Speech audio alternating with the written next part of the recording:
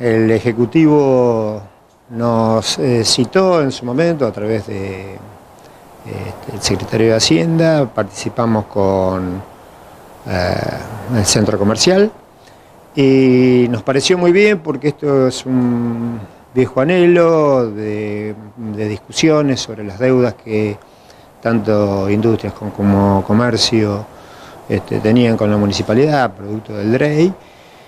Y nos parece muy bueno que den estas facilidades. Eh, creemos que tanto industria como comercio deberían aprovecharlo.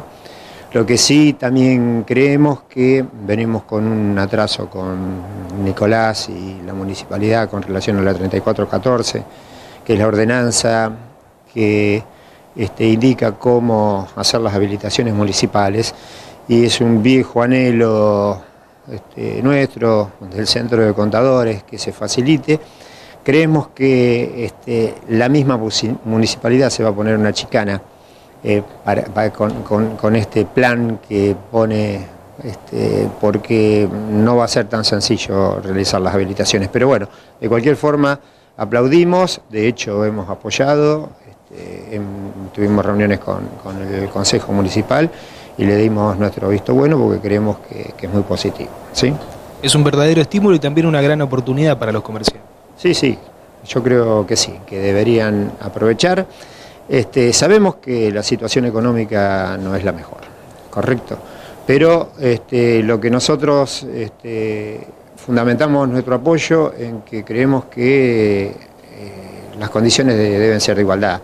O sea, entendemos que el comerciante, que el comerciante y el industrial que está inscrito con todas las reglas tiene un costo que otros, al no estar inscritos, no tienen, e indudablemente este, las condiciones comerciales no son las mismas. No, es el mismo costo para uno que para el otro, indudablemente competir de esta, en estas condiciones no, es igual.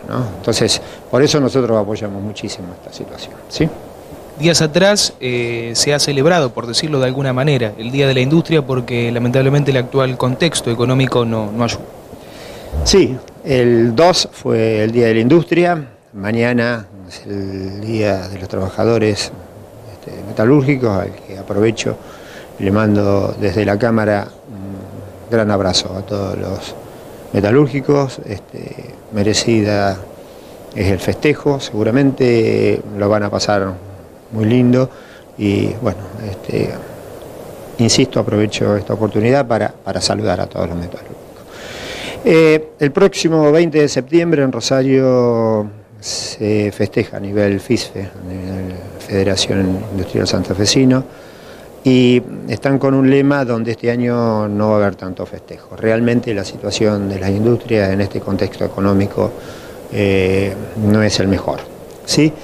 Eh, si bien en Villa mm, no se ha notado como en otros lados, no ha habido una gran cantidad de cierre de, talleres metalúrgicos, hubo algún caso particular, eh, no podemos negar que la realidad económica es muy distinta, es muy difícil, está muy bravo, la cadena de pagos si bien no se ha cortado, se ha extendido, este, los pagos que antes eran a 30, 60 se han extendido sobremanera este, y es muy tentador este, las tasas de interés a los valores que están y algunos pícaros aprovechan esa situación y no cumplir con sus obligaciones comerciales. Todo eso trae aparejado algunos inconvenientes que no los podemos negar, realmente existen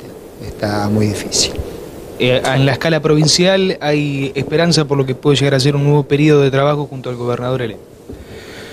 Sí, nosotros no podemos negar que este gobierno del ingeniero Lifchit este, nos ha tratado con bastante buen tino. Hemos conseguido cada vez que hemos mm, eh, buscado acercarnos, este, hemos encontrado eco en el gobierno provincial. De cualquier manera, mm, tenemos este, muchísimas esperanzas que con el nuevo gobierno, este, fundamentalmente en Villa Constitución, y nosotros como Cámara vamos a empujar para que las cosas así sucedan. En Villa Constitución, eh, el gobernador Perotti nos va a apoyar, estoy seguro, para que Villa vuelva a ser el Villa que los que tenemos algunos años nos acordamos. Y creemos que la base del desarrollo, seguimos insistiendo, está en las pymes. ¿sí? Eh, de cualquier forma, a Villa Constitución le faltan un montón de cuestiones. Este, entendemos, estamos en continuo contacto con, el profesor Berti. Eh, de hecho, participamos muy de cerca con el plan que llamamos nosotros circunvalar. Bueno, ahora en este último tiempo no aparece el dinero y todas esas cuestiones indudablemente este, para una ciudad como Villa Constitución son muy importantes, no solo por la obra en sí, sino por este, eh, el flujo de fondos que puede volcar este, a la zona que lamentamos que no suceda. ¿sí?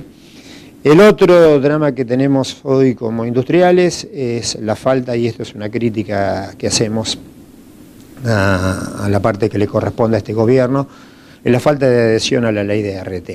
Hoy las estadísticas demuestran que todas las provincias este, cercanas, Córdoba, Buenos Aires, eh, provincias importantes que han adherido al nuevo régimen de ley de RT, tienen una sustancial baja los costos laborales. Y recién hablábamos justamente de este plan este, de ayuda de la municipalidad a los comercios e industrias, y esto también sería muy importante. Hoy bajar costos con, la paralela suba que hubo de los costos energéticos en todos los órdenes, este, para la industria sería muy importante.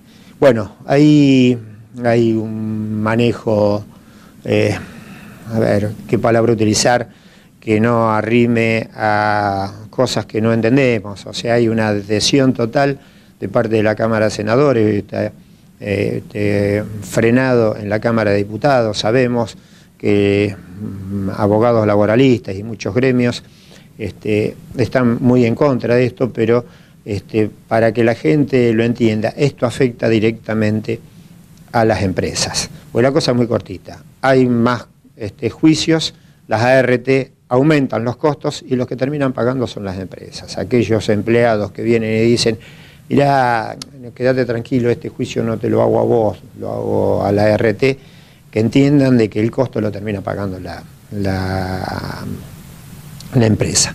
Acá queremos destacar que nuestra postura en relación a esto es porque pretendemos que, indudablemente, aquel empleado, trabajador que haya tenido un accidente, cobre lo que corresponda. Lo que sí entendemos es que es público y notorio la industria del juicio, donde este, hay un montón de personas, ¿sí? uno los puedo catalogar de trabajadores ahí, son como personas que toman la actitud de hacer un juicio a la RT cobrando un dinero que no le viene mal a nadie, ¿sí? Eh, que no le corresponde. Ese es, ese es el nudo de la cuestión. Y bueno, este, con, con, todo este proceso de la nueva ley entendemos que esto se debería este, limitar. ¿Qué camino queda de cara al cierre de este año para la industria villense, sobre todas las cosas? Y muchas piedras, y en su vida, y con viento en contra. Evidentemente, todo este panorama político después de las pasos, donde este, el gobierno actual este, mm, salió bastante perjudicado, la incertidumbre, dólar de 46 a los dos días a 60, eh, todo esto no ayuda en absoluto, no solo a las industrias y al comercio, este, estamos convencidos de que acá con este proceso sigue habiendo inflación, sigue habiendo este, problemas económicos y el más afectado en todo este proceso es el trabajador. Yo siempre digo que el impuesto más alto que paga el trabajador es la inflación. ¿sí? Vos cobrás 12 hoy, 12 este mes y 12 el mes que viene, con 4% de inflación, cobrás todos los meses un 4% menos. Pero este, tenemos este, muchísimas esperanzas de que el año que viene, con el gobierno que venga, las cosas eh, cambien. Evidentemente es un país que no tiene fondos, este, resiste, es de goma, plástico y acero, digo yo. Se dobla y, resiste. Esperemos que las cosas para el año que viene este, se encaminen mejor.